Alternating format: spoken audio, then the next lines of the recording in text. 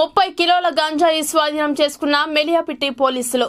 ముప్పై కిలోల గంజాయితో పాటు ముగ్గురిని అరెస్ట్ చేశారు పోలీసులు. సాయంత్రం కోసమాల మెలియాపుట్టి మధ్యలో వాహనాలు తనిఖీ చేస్తుండగా గంజాయిని పట్టుకున్నారు. పర్లాకిమిడి నుండి వస్తున్న వాహనాలు తనిఖీ చేయగా ఒక ఆటోలో ముగ్గురు వ్యక్తులు అనుమానాస్పదంగా ఉండగా వారి బ్యాగుల నుండి ముప్పై కేజీల గంజాయిని స్వాధీనం చేసుకున్నారు. ముగ్గురు కూడా గంజాం జిల్లాకు చెందిన వారని తెలుస్తోంది. గంజాం నుండి పర్లికామిడి మీదుగా పలాస వెళ్ళి అక్కడి నుండి ట్రైన్లో పశ్చిమ బెంగాల్కు ఈ గంజాయిని ఎగుమతి చేస్తున్నట్టు పోలీసు సిబ్బంది తెలిపారు.